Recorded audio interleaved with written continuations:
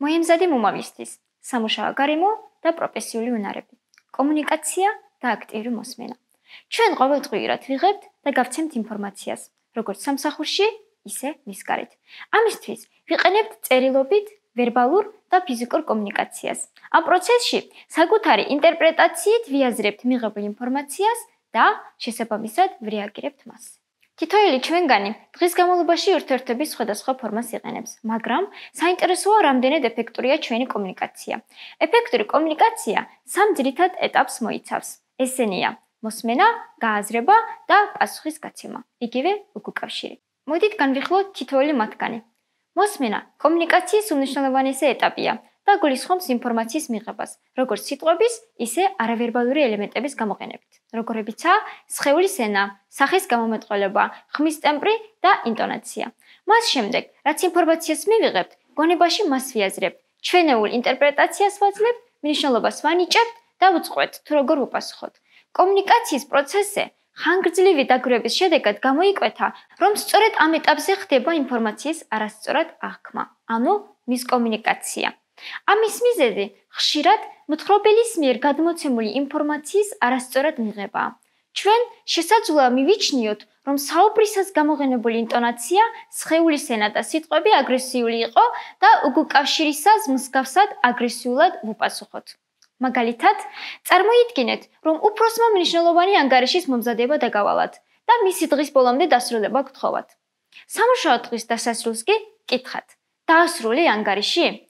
თუ ამ კითხვის ინტერპრეტაციისას მიიჩნევთ, რომ უფროსი აგრესიულად კეკითხებათ, ან ანგარიშის მომზადებლობისთვის გსაღვეტურობთ, თქვენ შესაძლოა უკმაყოფილების განცდა დაგეუფლოთ და საბარაუდოდ მსგავსი განწყობითვე უპასუხებთ.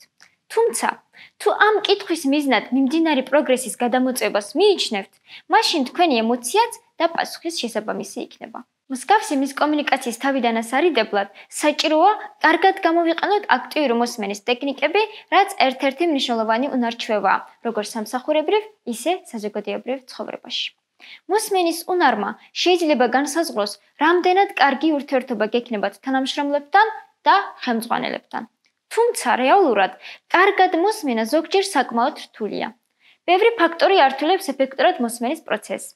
სხვების კომუნიკაციის სტილი, მაგალითად, სწრაფი ან ჩუმი მეტყველება, ხმის ტემპრი და ტონი, აქცენტით საუბარი, ხმაური და ყურადღების განფათველი სხვა ფაქტორები. ხელის შემშლელია შინაგანი ემოციებიც, რაც ყველაზე რთული გადასალახიც კი შეიძლება აღმოჩნდეს. საუბრის პარალელურად ჩვენი გონება მუდმივად იმაზე ფიქრობს, თუ რისი გაკეთება გსურს მოგვიანებით, მაგალითად, რაზე საუბარი გვინდა მეგობერთან ან თანამშრომელთან. რა საჭიროებები გვაქვს იმ მომენტში? როდის შევძლებთ რომ ვისადილოთ? როგორი ტემპერატურაა ოთახში? და ასე შემდეგ. ასევე, მოსმენის დროს შესაძლოა ჩვენმა ემოციებმა გადაწყვიტოს, როგორ ინტერპრეტაციას გავუკეთებთ ინფორმაციას. მაგალითად, საუბრის მოსმენისას შეიძლება გაგვახსენდეს ჩვენი წინა გამოცდილება მსგავს სიტუაციებში. ვიფიქროთ კონტექსტზე, გვქონდეს წინასწარი განწყობა თემის მიმართ, ან მივიჩნიოთ, რომ ვიცით რისი თქმა სურს მოსაუბრეს და არ მოვისმინოთ პოლომდე. აქტიური მოსმენა ნიშნავს პიროვნების საუბარზე ფოკუსირებას და სიტყვებით გამოთქმული აზრის მნიშვნელობის გაანალიზებას. არსებობს რამდენიმე გზა, რომელიც დაგეხმარებათ ამ უნარების გამჯობესებაში. ა. ფოკუსირება. მოსმენისას შეეცადეთ მთელი ყურადღება გადაიტანოთ მოსაუბრეზე და დაივიწყოთ სხვა ყველა ყურადღების განფათველი ფაქტორი.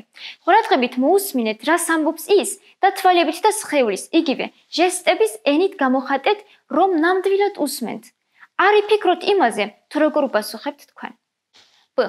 რეფლექსია. როცა მოსაუბრე დაასრულებს ლაპარაკს, იფიქრეთ იმაზე, რაც მოისმინეთ. გ. დაზუსტება. შეეცადეთ მონათხრობს პერიფრაზი გაუკეთოთ და მოსაუბრისგან მიღებული ინფორმაცია დააზუსტოთ. მაგალითად, ნინო, თქვენ მეუბნებით, რომ წერილი ინგლისურ ენაზე დავწერო და ადრესატთან დღის ბოლომდე გავგზავნო. ასეა? ასეა?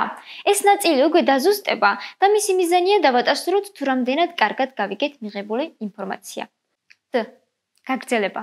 მიიღეთ დამატებითი ინფორმაცია და დარწმუნდით, რომ სწორად გესმით მოსაუბრის მონათხრები და მის მიღმა არსებული იდეები. დაფიქრდით, ხომ არ დარჩა რამე გაუგებარი. მაგალითად, ნინო, როგორ გირჩევნიათ, წერილი დაწერის შემდეგ თქვენ გამოგიგზავნოთ გადასახედად? თუ პირდაპირ გავგზავნო ადრესატთან. აღნიშნული ეტაპების გამოყენება დაგეხმარებათ აქტიური მოსმენის განვითარებაში. გმადლობთ მოსმენისთვის.